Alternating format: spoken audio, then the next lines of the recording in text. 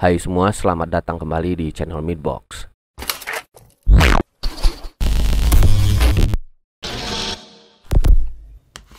Oke, setelah sekian hari komputer gua ngadat terus, inilah salah satu alasan gua kenapa lama upload.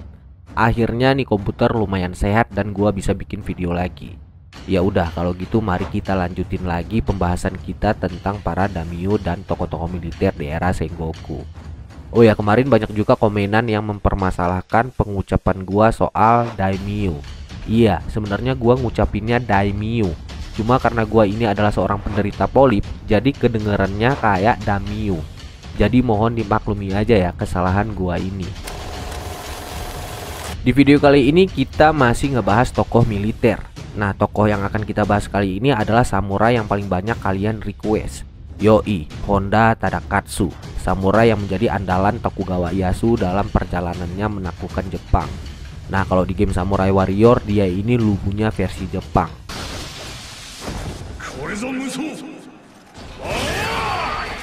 Dan ternyata emang bener nih samurai terkenal banget dengan daya tahan dan kekuatan tempurnya yang di luar nalar. Sampai-sampai di setiap pertempurannya dia dikabarkan gak pernah mengalami luka yang serius dan dicap sebagai salah satu samurai terkuat yang pernah ada di era Sengoku. Waduh, sampai segininya nih samurai ya. Seserem apa sih Honda Tadakatsu ini?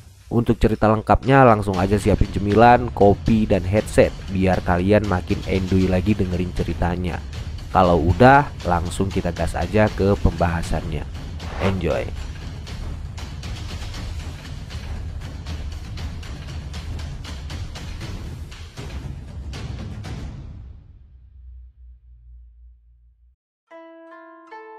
Honda Tadakatsu atau dikenal juga sebagai Honda Heihaichiro lahir 17 Maret 1548 di Provinsi Mikawa.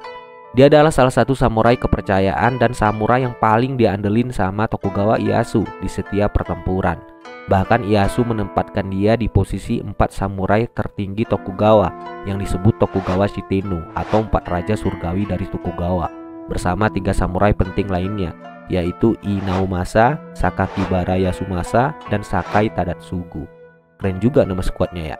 Nah, empat samurai inilah yang mengabdi setia pada Ieyasu sampai akhir hayat mereka, sekaligus menjadi pondasi kekuatan tempur klan Tokugawa.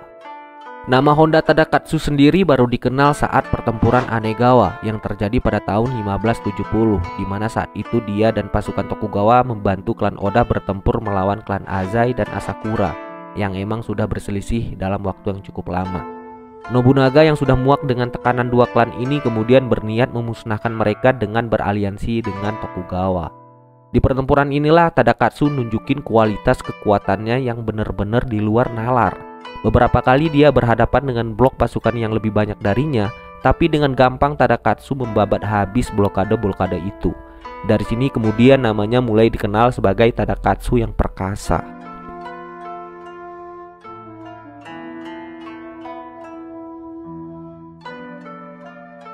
Pada tahun 1573, Takeda Shingen yang sudah berada dalam kekuatan maksimalnya mulai bergerak dalam kampanyenya untuk menaklukkan Kyoto, di mana dia sekalian berencana buat ngancurin Oda Nobunaga. Aliansi Oda Tokugawa yang mengetahui gerakan Takeda pun langsung mengambil tindakan dengan mencegat gerakan pasukan Takeda di Provinsi Totomi.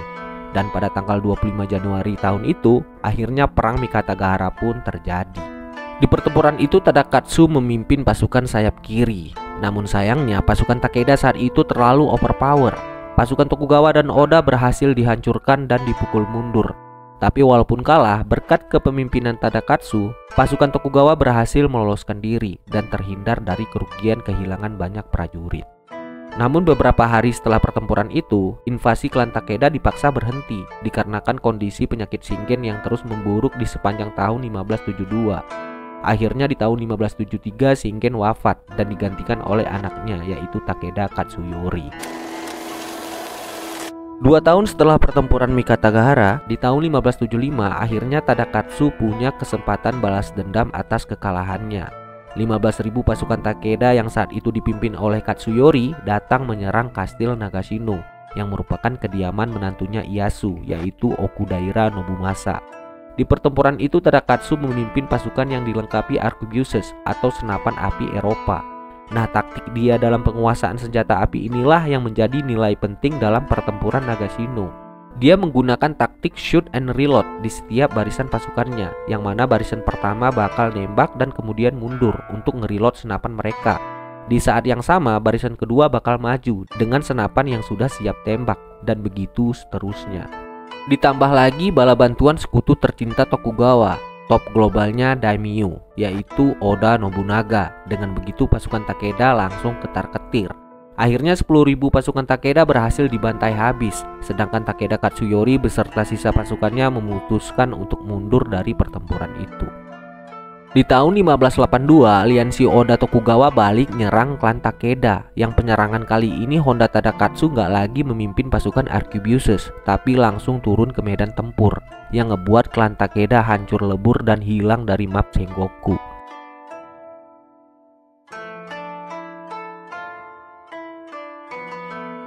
Pembuktian keganasan Tadakatsu nggak berhenti di situ. Dia kembali menunjukkan keperkasaannya pada pertempuran Komaki Nagakute yang terjadi pada tahun 1584 sampai 1586 yang diakibatkan oleh perselisihan antara Ieyasu dan Hideyoshi karena perebutan kekuasaan pasca kematian Oda Nobunaga sebelum mereka akhirnya benar-benar jadi sekutu. Walaupun di pertempuran itu Tokugawa kalah lagi ya karena emang Toyotomi Hideyoshi ngeri parah saat itu bisa dibilang 80% pengikut klan Oda pindahnya ya ke dia jadi bisa dibayangin kan gimana banyaknya pasukan Toyotomi tapi ada kisah menarik tentang gimana Tadakatsu ini diakui oleh Hideyoshi sebagai samurai terkuat. Nah saat itu Toyotomi ngejar Ieyasu yang melarikan diri melewati sungai Shonai. Tadakatsu dan salah satu jenderal lainnya yaitu Ishikawa Yasumichi memutuskan menghadang pasukan Hideyoshi yang mengejar untuk ngulur waktu agar tuannya bisa meloloskan diri. Sedangkan pasukan Hideyoshi ngejar itu jumlahnya banyak banget. Diperkirakan perbandingannya itu 50 banding 1. Tapi saat itu Tadakatsu sedikit pun nggak gentar, bahkan malah nantangin semua pasukan itu buat ngelawan dia sendirian. Dan bener aja, tantangan Tadakatsu ternyata nggak cuma omongan doang. Tanpa rasa takut, dia langsung maju dan bertarung dengan pasukan Toyotomi yang jumlahnya itu nggak main-main. Di situlah Hideyoshi bener-bener shock dan kagum ngeliat kekuatan Tadakatsu. Atas kekagumannya ini, Hideyoshi kemudian memerintahkan pasukannya agar tidak memberi luka yang fatal ke Tadakatsu dan dia juga menghentikan pengejarannya terhadap Yasu. Atas prestasinya ini juga di tahun 1586 sewaktu dia mengawal Ieyasu ke Kyoto, Tadakatsu kemudian dihadiahi gelar Nakatsukasa Taiyu yang gua sampai sekarang nggak tahu apa arti ini gelar. Buat kalian yang ngerti boleh langsung komen di bawah.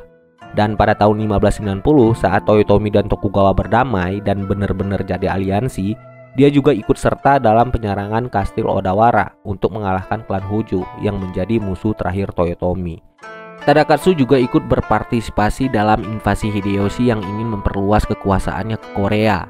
Dan di tahun 1600, Nisamurai juga nggak absen dari pertempuran yang menjadi titik akhir dari era Sengoku, yaitu Sekigahara, di mana pasukan Tokugawa berhasil mengalahkan kubu barat yang menjadi pendukung Toyotomi. Perjuangan dan pengabdian Tadakatsu yang besar akhirnya memberikan jalan pada tuannya, yaitu Tokugawa Ieyasu, untuk mengambil kendali penuh atas pemerintahan Jepang dan menutup era Sengoku Jidai.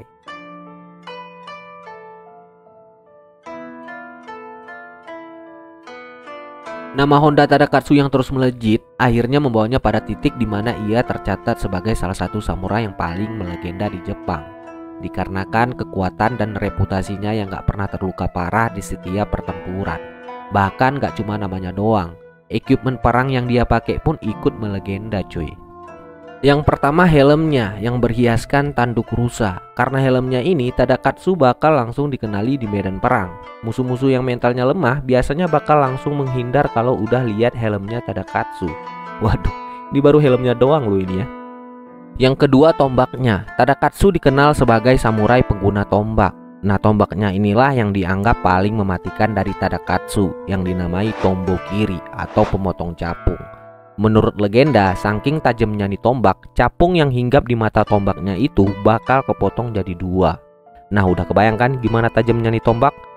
Tombak ini juga dikenal sebagai salah satu dari tiga tombak terbaik negara Jepang selain Nihongo dan Yari. Untuk senjata keduanya, Tadakatsu selalu membawa katana sepanjang 67 cm yang dinamai Nakatsukasa. Iya, nama senjatanya ini sama dengan gelar yang dikasih Tokugawa ke dia.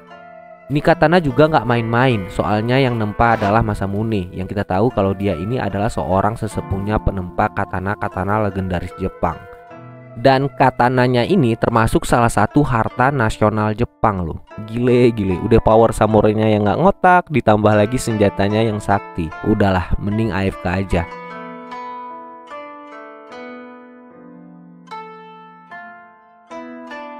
Setelah mengantarkan Ieyasu menjadi shogun, kemudian Tadakatsu diberi hadiah wilayah Otaki oleh sang shogun dan diangkat menjadi daimyo wilayah itu. Setelah itu dia diberi lagi wilayah yang lebih luas yaitu wilayah Kuona di prefektur Mie sebagai hadiah atas semua pengabdian yang dia lakukan. Kemudian di tahun 1609 dia pensiun dari jabatan daimyo-nya dan diteruskan oleh anaknya yaitu Honda Tadatomo dan daerah Kuona diberikan pada anaknya yang lain yaitu Honda Tadamasa.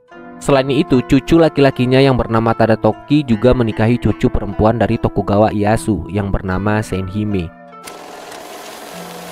Meskipun pengabdiannya yang tetap setia selama bertahun-tahun, keberadaan Tadakatsu setelah masa Sengoku berakhir pelan-pelan mulai terasing dari keshogunan Tokugawa dikarenakan revolusi zaman mulai beralih dari militer ke ranah politik disebabkan berakhirnya era perang dan Jepang sudah mulai damai. Hal ini sebenarnya nggak cuma dirasain sama Tadakatsu doang, namun juga dirasakan oleh sebagian besar prajurit Tokugawa maupun samurai-samurai lain yang mereka-mereka ini tidak bisa menyesuaikan diri mereka pada zaman yang tanpa perang dan lebih stabil ini.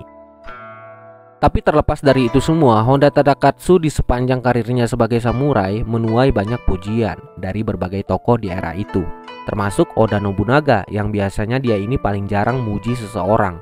Nobunaga menyebut Tadakatsu sebagai samurai di antara samurai. Hideyoshi juga mengatakan samurai terbaik di era itu ada dua orang, Honda Tadakatsu dari timur dan Munishigi Tachibana dari barat. Takeda Shingen juga ikut muji Tadakatsu dengan mengatakan bahwa dia adalah kemewahan terbesar dari seorang Tokugawa Ieyasu. Selain itu, Honda Tadakatsu juga sering disebut sebagai samurai yang melampaui kematian itu sendiri. Karena tercatat Tadakatsu sudah mengikuti 60 pertempuran lebih di sepanjang hidupnya dan gak pernah menerima luka yang fatal sekalipun. Sampai akhirnya dia tutup usia pada tanggal 3 Desember 1610 dan namanya pun terus dikenang sebagai samurai terkuat yang pernah ada.